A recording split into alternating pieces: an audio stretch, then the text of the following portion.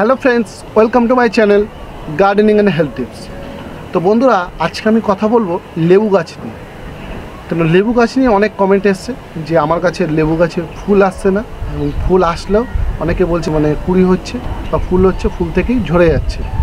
তো এই সমস্যাগুলোর আজকে বিষয় নিয়ে আমি কথা বলব। তো এই লেবু গাছ সম্বন্ধে আমি আপনাদের কয়েকটা কথা বলে দিই। যে লেবু গাছ অন্যান্য গাছের মতন পরিচর্যা করলে কিন্তু লেবু গাছে ফুল আসবে না বা ফুল আসলেও ফলে পরিণত হবে না। এটা আপনারা মাথায় রাখবেন। তো লেবু গাছে প্রথমে ফুল না আসার কারণ হচ্ছে, যদি আপনি গ্রাফটেড গাছ না হয়, তাহলে কিন্তু আপনার কাছে খুব তাড়াতাড়ি ফুল আসবে না। আর ফুল না আসলে তো ফলের কোনো প্রশ্নই নেই। তো এর জন্য অবশ্যই আপনারা যখন বাড়িতে গাছ বসাবেন, দেখে নেবেন আপনার গাছটা গ্রাফটেড কিনা। আর যদি আপনি বীজ থেকে গাছ তৈরি করেন, তাহলে কিন্তু আপনাকে তিন থেকে চার বছর ওয়েট করতেই হবে। যে কোনো ধরনের লেবু গাছে। আমরা অনেকেই কী করি, বীজ থেকে গাছ তৈরি করে, সঙ্গে সঙ্গে গাছে ফুল চাই।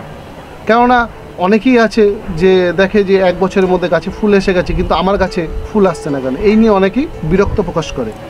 তো আপনারা আগেই প্রথমে চেক করে নিন যে আপনাদের গাছ গ্রাফটেড কিনা। গ্রাফটেড না হলে কিন্তু আপনাকে তিন চার বছর ওয়েট করতে হবে। এটা গেল একটা প্রথম কারণ। দ্বিতীয় কারণ হচ্ছে, লেবু গাছকে যদি আমরা অন্যান্য গাছের মতন খুব বেশি পরিচর্যা করি কিন্তু গাছে ফুল আসবে না। আপনারা মাথায় রাখবেন, বগুনবুলিয়া গাছ, বগুনবুলিয়া গাছেও সেই একই নিয়ম। আপনারা যদি ওই গাছকে বেশি পরিচর্যা করেন, গাছকে পাতা খুব সবুজ করে রাখেন, গাছে কিন্তু খুব তাড়াতাড়ি ফুল আসে না এবং অনেক সময় দেখা যায় যে একদমই গাছে ফুল আসে না। তো এর জন্য আপনাদের কি করতে হবে? আপনারা গাছে একটু জল কম দিন এবং সার প্রয়োগ কম করুন। তো বন্ধুরা, এই গাছ যখন আমি বসানোর সময় যে সার প্রয়োগ করেছিলাম, তারপরে আর কোনো রকম সার প্রয়োগ করিনি। এবং জলটা আমি খুব কম পরিমাণে এই গাছে দিয়ে থাকতাম। তো আপনারাও গাছে যদি ফুল পেতে চান, লেবু গাছে, অবশ্যই আপনারা গাছে বেশি জল প্রয়োগ করবেন না এবং সার প্রয়োগ করবেন না। এবং অবশ্যই করে এই জানুয়ারি মাসের দিকেই দেখবেন সব ম্যাক্সিমাম লেবু গাছে ফুল আসে। তো আপনারা কী করবেন, বিগত দু মাস থেকে মানে ফুল আসার এই জানুয়ারি মাসে আগে, নভেম্বর, ডিসেম্বর মাস থেকে কোনো রকমভাবে সার প্রয়োগ করবেন না এবং জলও খুব পরিমাণ মতন দেওয়ার চেষ্টা করবেন মানে একটু কম পরিমাণে। এমন দেবেন না যে গাছ মরে যায়। গাছ যাতে মরে না যায়, সেরকম জল দেবেন। এর বেশি জল প্রয়োগ করলে কিন্তু গাছে ফুল আসবে না। এটা আপনারা মাথায় রাখবেন। তো একটা বিষয় হচ্ছে, এই সময় দেখবেন আপনাদের ম্যাক্সিমাম সব গাছেই ফুল আসে। আজকে জানুয়ারি মাসে পঁচিশ তারিখ। তো এই গাছে ফুল এসছে মোটামুটি জানুয়ারি মাসের পাঁচ, ছ তারিখে দেখলাম এই গাছে আমি ফুল দেখতে পেয়েছি। তার আগে হয়তো দু একদিন আগে এসে গেছে। ছোট ছোট কুড়ি। তো এর জন্য আপনাদের বলে দিই গাছে যদি ফুল আনতে চান, অবশ্যই গাছে জল কম ব্যবহার করবেন, লেবু গাছে। যারা বেশি বেশি জল ব্যবহার করে এবং গাছের খুব পরিচর্যা করে মানে বেশি সার প্রয়োগ করে, তাদের গাছগুলো দেখতে সুন্দর হবে, কিন্তু গাছে ফুল আসবে না। এটা আপনারা মাথায় রাখবেন। কেন, গাছে যদি অন্যান্য গাছের মতন ট্রিটমেন্ট এই গাছে করতে চান, তাহলে কিন্তু আপনার গাছে ফুল আসবে না এবং ফুল না আসলে ফলের কোনো প্রশ্নই হবে না। এছাড়াও আমার বাগানে আরও লেবু গাছ আছে। যেমন আরেকটি পাতি লেবু গাছ আছে, সেটা সারা বছর ফুল দেয় এবং ফল দেয়। সেটা কথা বাদ দিন। এছাড়াও আর একটা কাগজি লেবু আছে, যেটা আপনাদের আমি দেখাবো এখন। সেই গাছটাতে আমি কীভাবে ফুল এনেছি, চলুন গাছটাকে দেখে নিই, আপনাদের বলি। তো বন্ধুরা, এখানে দেখতে পাচ্ছেন যেটা, সেটা হচ্ছে কাগজি লেবু। এই গাছে প্রচুর পরিমাণে ফুল এসছে। তো এই গাছে ফুল আনার পিছনে যে কারণটা আপনাদের বললাম, গাছে খুব কম পরিমাণে জল প্রয়োগ এবং সার একদমই আমি লাস্ট দু, তিন মাসে এই গাছে ব্যবহার করিনি। গত বছরে এই গাছে ফুল আসেনি। কারণ গত বছরে আমি এই গাছে জল এবং সার খুব ভালো পরিমাণে দিয়েছিলাম এবং গাছটা খুব ঝাঁকড়ালো হয়েছিল, কিন্তু গাছে কোনো রকমভাবে ফুল আসেনি। কিন্তু এই বছরে কি করেছি, আমি দু, তিন মাস আগে থেকে এই গাছে কোনো রকম সার প্রয়োগ করিনি এবং সঙ্গে সঙ্গে এই গাছে আমি জল খুব কম পরিমাণে দিয়েছি।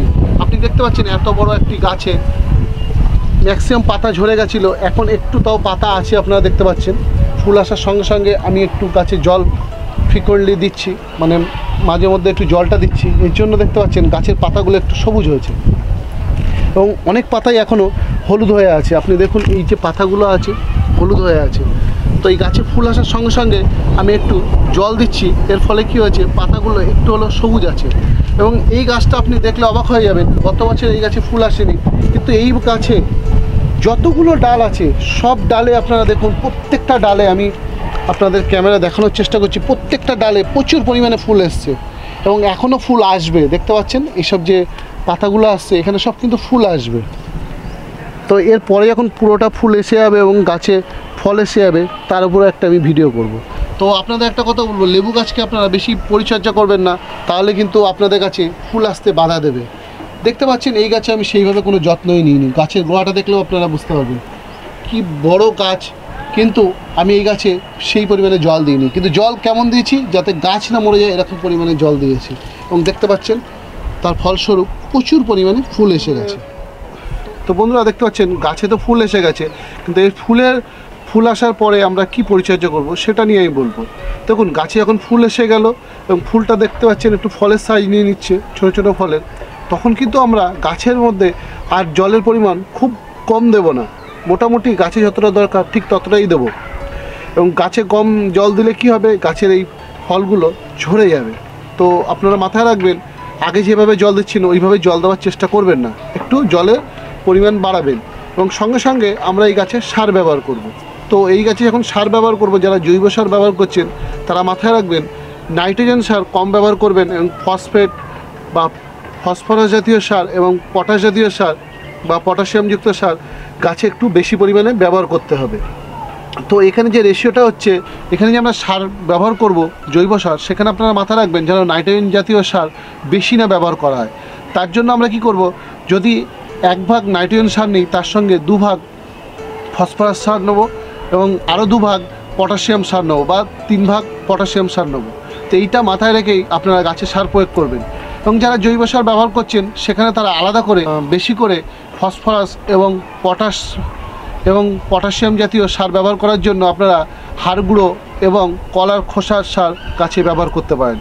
এবং যারা জৈব সার ব্যবহার করেন না, যারা রাসায়নিক সার ব্যবহার করেন, তাদের আমি বলে দিই, তারা যদি এক ভাগ ইউরিয়া মানে পটাশিয়াম সার নেন, তাহলে তার সঙ্গে দুভাগ আরও ফসফেট বা ফসফরাস জাতীয় সার এবং তার সঙ্গে আরও চার ভাগ পটাশিয়ামযুক্ত সার ব্যবহার করবেন মানে পটাশ ব্যবহার করবেন। তো এখানে রাসায়নিক সারের ক্ষেত্রে দাঁড়াল, এক চামচ যদি আপনি ইউরিয়া ব্যবহার করেন, দু চামচ আপনি ফসফরাস মানে ফসফেট সার ব্যবহার করবেন এবং চার চামচ আপনি পটাশ সার ব্যবহার করবেন। তো এই মিশ্রণগুলো করে একটি দশ ইঞ্চি টবে আপনারা দু চামচ ব্যবহার করতে পারেন মাসে। আমরা যে লেবু গাছ বসাই, সাধারণত অনেক বড় পটে বসাই। বা অনেকে বড় গামলাতে বসায় বা বড় কন্টেনারে বসায়। সেই জন্য আপনারা মাথায় রাখবেন, দশ ইঞ্চি টবে দু চামচ হিসাবে আপনারা সেই টব অনুযায়ী আপনারা সারের পরিমাণ বাড়াবেন। আর একটা কথা মনে রাখবেন, রাসায়নিক সার একটু কম দেওয়ার চেষ্টা করবেন। রাসায়নিক সার অনেক সময় বেশি হয়ে গেলে গাছ জ্বলে যেতে পারে এবং ফলগুলো পড়ে যেতে পারে। এর জন্য আমি আপনাদের সবসময় বলব জৈব সার ব্যবহার করুন। আর জৈব সার যদি একটু কম বেশি হয়, গাছের ক্ষতি হয় না, কিন্তু রাসায়নিক সার কম বেশি হলে গাছের ক্ষতি হয়। এবারে আর একটা কথা বলি আপনাদের এপসন সল্টের অনেকেই নাম শুনেছেন। এই গাছে আপনারা যখন এই ফলে, ছোট ছোট ফলে পরিণত হবে। ওই সময় আপনারা এপসন সল্ট গাছে ব্যবহার করতে পারেন।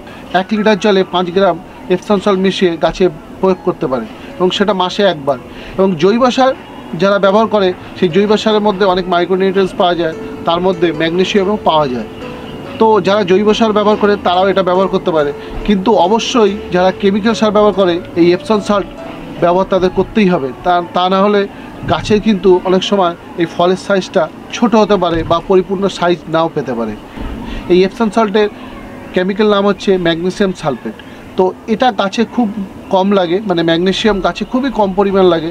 এর জন্য আপনারা মাসে একবার ব্যবহার করলেই যথেষ্ট। তো বন্ধুরা আপনাদের আরেকটা কথা বলে দিই। অনেক সময় দেখবেন লেবু গাছে অনেক ধরনের পোকামাকড়ে আক্রমণ হয়ে থাকে। এই যখন ফলের সাইজ আসলো, এই সময় অনেক সময় যখন ফুল আসে এবং ফুল থেকে ফলে পরিণত হয়, সেই সময় গাছে অনেক সময় অনেক পোকামাকড়ে আক্রমণ হয়ে থাকে। তো তার জন্য আপনারা অবশ্যই নিম অয়েল স্প্রে করবেন দশ দিন অন্তর গাছে। তা না হলে এই সময় যদি গাছে আপনাদের পোকামাকড়ে আক্রমণ হয়ে থাকে, তাহলে কিন্তু ফল বৃদ্ধি পাবে না এবং ফলে অনেক সময় ফুল থেকে ফলেও পরিণত হয় না। তো অবশ্যই গাছে আপনারা দশ থেকে বারো দিনের মধ্যে কীটনাশক ব্যবহার করবেন এবং যারা কেমিক্যাল কীটনাশক ব্যবহার করেন, তারাও দশ থেকে পনেরো দিনের মধ্যে অবশ্যই ব্যবহার করবেন। তো বন্ধুরা, আজকে আমি আপনাদের এই লেবু গাছ সম্বন্ধে যে তথ্যগুলো দিলাম, আশা করি আপনাদের খুবই ভালো লেগেছে। আর ভালো লেগে থাকলে অবশ্যই আপনারা আমার ভিডিওটাকে লাইক আর শেয়ার করবেন এবং আপনাদের কোনো জিজ্ঞাসা থাকলে অবশ্যই আমার ভিডিওর কমেন্ট সেকশনে লিখে জানাতে পারেন। এবং আজকে যারা আমার চ্যানেলে নতুন এসছেন, অবশ্যই আমার চ্যানেলটিকে সাবস্ক্রাইব করবেন এবং সাবস্ক্রাইব বাটনের পাশে যে বেল বাটনটি আছে, ওটাকেও প্রেস করে দেবেন। তাতে কী হবে? যখনই আমি কোনো চ্যানেলে ভিডিও নতুন আপলোড করব, আপনার কাছে সঙ্গে সঙ্গে নোটিফিকেশন চলে যাবে। তো বন্ধুরা, আজকের ভিডিও আমি এখানেই শেষ করলাম। সবাই ভালো থাকবেন, সুস্থ থাকবেন। ধন্যবাদ।